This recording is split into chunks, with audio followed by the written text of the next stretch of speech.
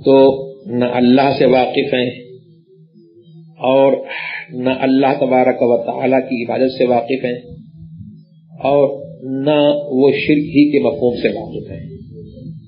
उनका शिरक तो ऐसा है कि वो पैरा हुआ है बिल्कुल।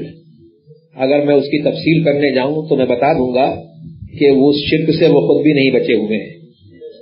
वो दुनिया को मुशरक बनाने के फेर में, मुसलमानों को मशरक बनाने के फेर में जो है, वो खुद भी मशरक हो गए इसको आप यूँ ही समझ लीजिए कि जैसे वो कहते हैं कि वसीला पकड़ना शिरक है। किसी का वसीला पकड़ना शिरक है। अलिया और अंबिया की मदद चाहना, उनको मुसीबत के वक्त में पुकारना शिरक है।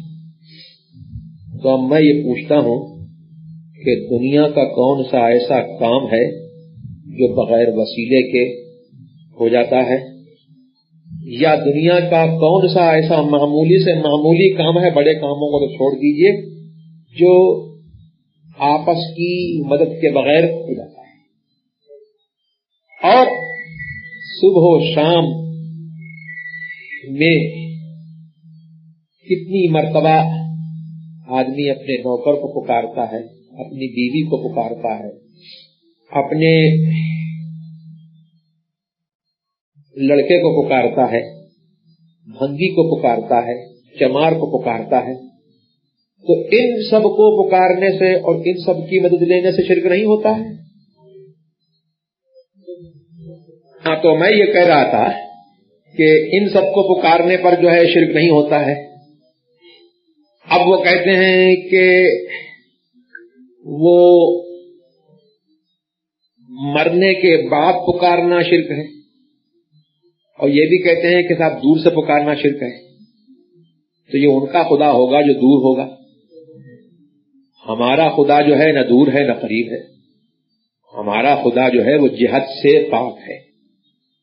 यानी दूर और करीब जो है, ये फासले की चीज़ें हैं ना। और फासला उसी पर एप्लीकेबल होगा और फासला उसी के लिए हो सकता है जो जिस्म हो, जिसको डायरेक्शंस और जिहतें जो है घेरे।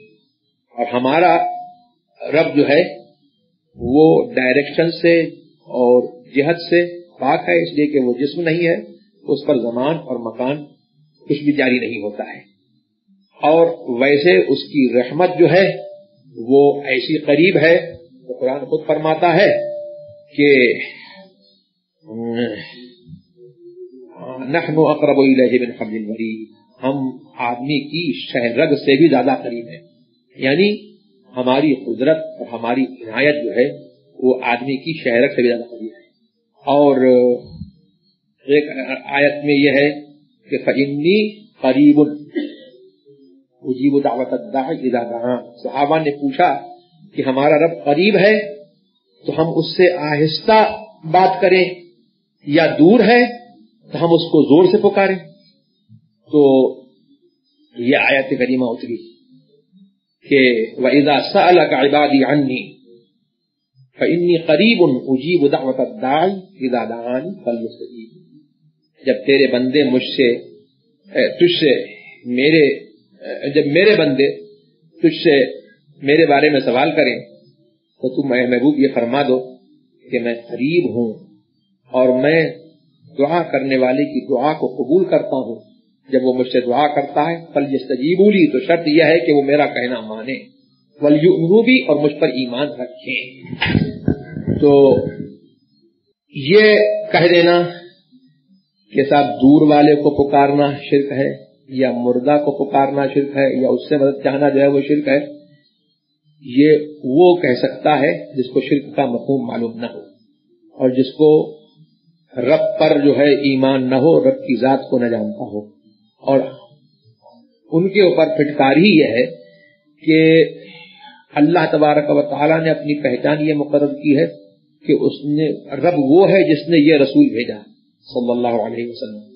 तो उन्होंने रसूल को नहीं माना तो अलिया किराम को न माने तो उसकी शिकायत ही क्या है? और हकीकत में तो उन्होंने अपने नफ्स ही को नहीं और जो अपने नफ्स को जानेगा तो ये हज़रत इब्न मुआज राज़ी रज़ी अल्लाह का कौल है कि अपने नफ्स को जान लेना जो है, यही इरफान रब है।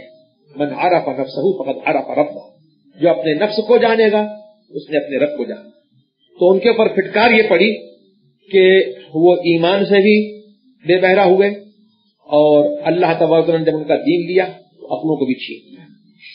तो ये जो कहते हैं वो कि ये ये शिरक है, मुर्दों से मदद मांगना शिरक है और दूर वाले को पुकारना शिरक है तो देखो शिरक जो है, वो जब होगा तो कभी माफ़ नहीं होगा।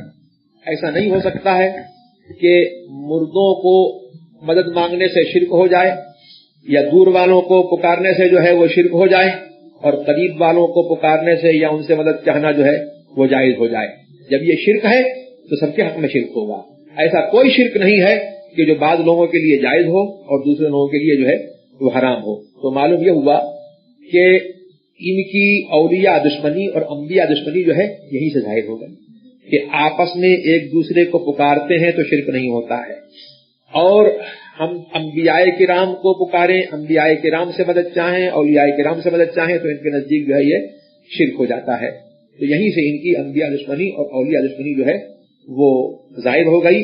और इसके अलावा जो है, हमारे मज़हब महजब और हमारे अकीदे के अलिया के राम बादल विशाल जो है, मदद फरमाते हैं। इस पर एक दो दलीलें नहीं, अहादीस करीमा और आयात करीमा में जो है, इस पर सैकड़ों दलीलें जो है कायम हो। हो चुकी हैं। और कराम ने खसूस सैदना आला हज़रत रज़ी अल्लाह तबारक ने बरकातुल इमदाद, जहजिद इमदाद एक रसाला पर जो है पूरा लिखा है, जिसमें यह साबित फरमाया है कि अहले इस्तेमदाद के लिए ये सुन्नियों के लिए, औलियाए किराम की इमदाद की बरकतें जो है, वो साबित है।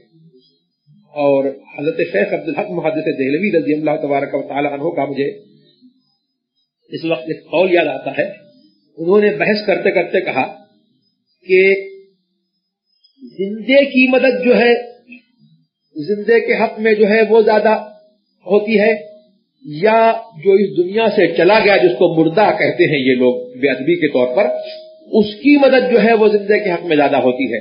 मानते हैं कि जो दुनिया से चला गया, क्योंकि वो हज़रत हक में है, अल्लाह तबारक वाली की बारगाह में है और बराह रास्त जो है अल्लाह तबारक वाली की बारगाह से जो है वो मुस्तमिद है, उस पर जो है फैजान हो रहा है तो उसकी मदद जिंदे के हक में जो है वो ज़्यादा है।